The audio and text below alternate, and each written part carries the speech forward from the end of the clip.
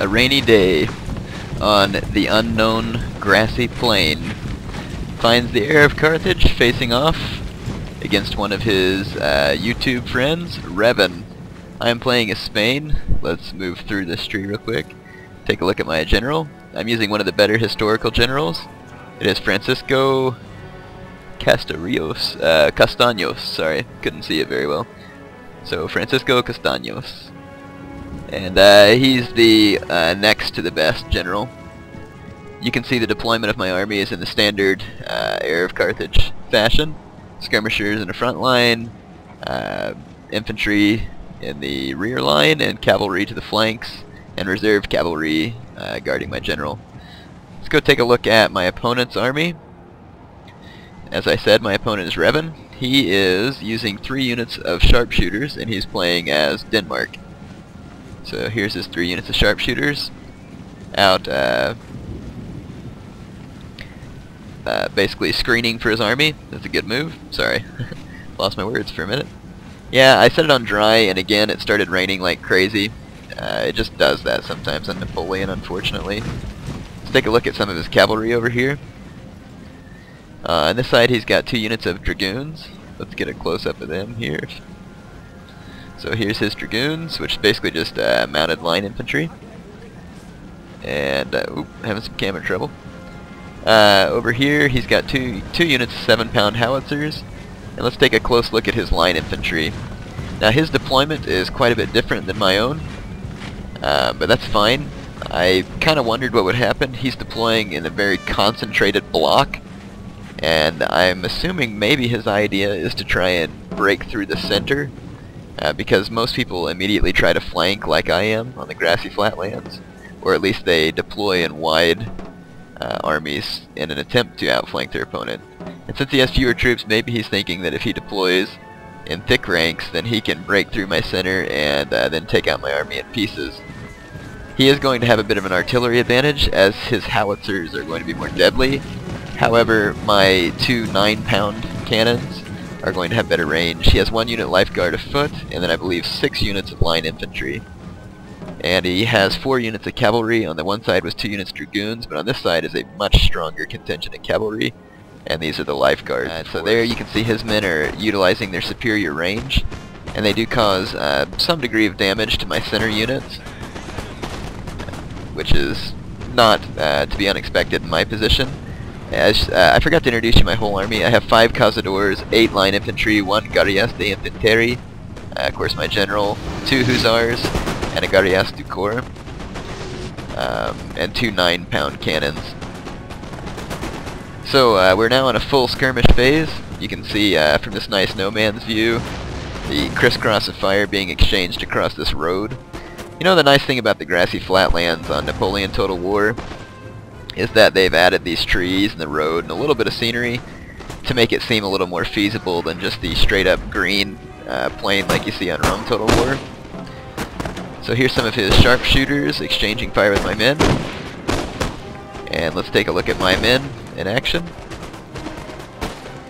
Here's some of my men doing their business. My opponent is making a smart move here. He knows that he is outgunned uh, with his skirmishers, so he's going to push up his um, heavy infantry and attempt to break my center.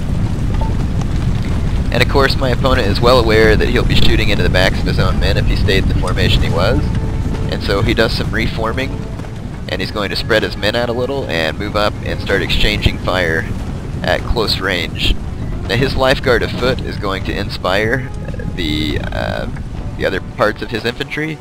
And again, his men are very bunched up, and I kind of expected my men to just start mowing his down quite easily, but his men uh, end up putting up a ferocious fight, and uh, I was pretty impressed. And he does what I want him to, which is to move forward and let my line infantry get the first volley.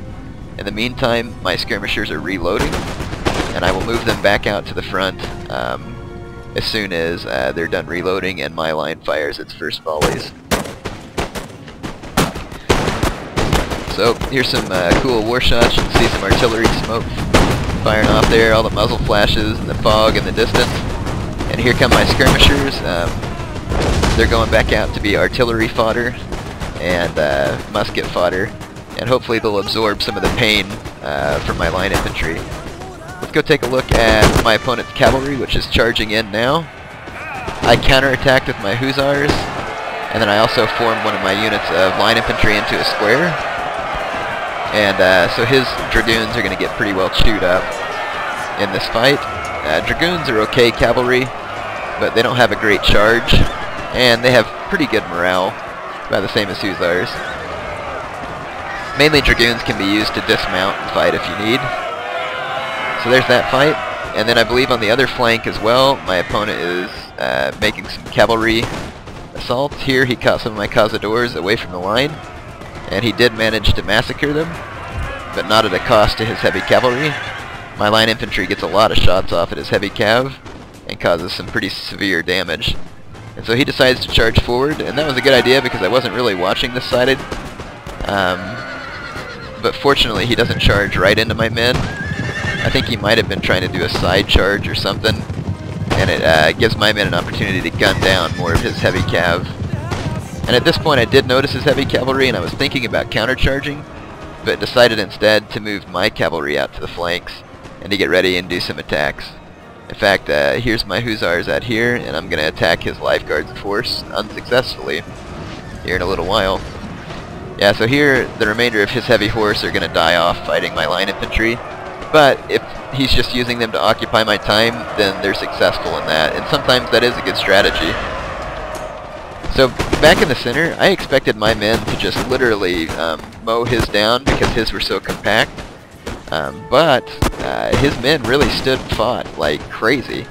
And not only that, they routed my uh, Guardias de Infanterie, and that was an excellent unit, and they've just absolutely punched a hole in the center of my troops.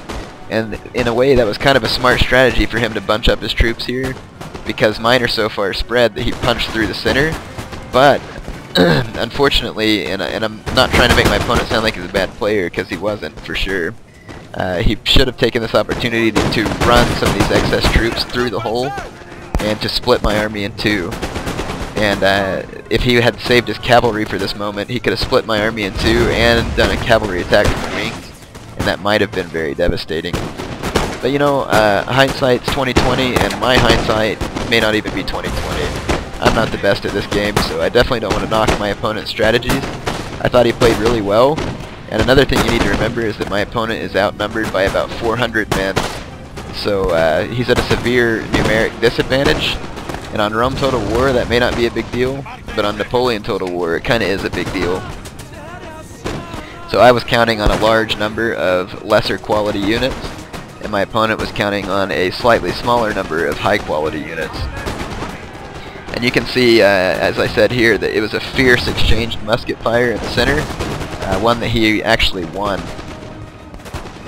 Let's take uh, a look at my flanks. I finally moved my uh, infantry uh, into flanking positions, but he's answered with his sharpshooters, who are in reserve, and they're going to be up to be able to put up a, a good fight. Their accuracy is much better than my troops at this range, and so I need to do something about those sharpshooters. My hussars died attacking these lifeguards of horse, and I was about to attack them with my uh, my Guardias du Corps. Uh, but I decide instead to charge into his light infantry here, and I'm hoping to cause a chain rout on this side of the battlefield uh, due to his troops starting to waver in their morale. So here I do a heavy cavalry charge into sharpshooters, and they have no real way to defend themselves against this type of cavalry. And you can see their morale just plummeting, and they rout, and this other unit routs without me even attacking them. And because their morale drops, this unit of uh, line infantry starts to waver. One unit routs, uh, other units wavering, then they rout because of the horses in the rear. And then the next unit of line infantry is shaken, and then they waver, and now they're going to rout as well. So my idea the chain rout did work, and I'm now going to take my heavy cavalry out of that fight and take them on to destroy his artillery piece and his lifeguards, of course. So let me say good game to my opponent, Revan. I will get you to the results screen. It was a fun battle. I enjoyed that he played a bit of a different strategy, and it was kind of curious. Like I said, it's possible that had he shoved through my center there, that he could have split me in two, and then reserved his cavalry for the right moment, and he might have been able to knock my uh, two wings out at that moment. But who knows? Uh, but like I said, good game to my opponent. Hope you enjoyed the video. Alright, here's the results screen. Um, you can see the number of troops we deployed. Like I said, I deployed almost 400 more men. So I definitely had a huge numeric advantage. And uh, there's our losses and our kills. Good game to Revan. Appreciate him offering the game. And anybody who wants to offer me a game when you see me on Steam, I may not be able to play you, but feel free to offer. You're not going to bother me. Uh, I do enjoy getting to play um, friends and YouTube fans because the games tend to be a lot more fun. Anyway, uh, hope you enjoyed it. Look forward to more Napoleon battles in the future.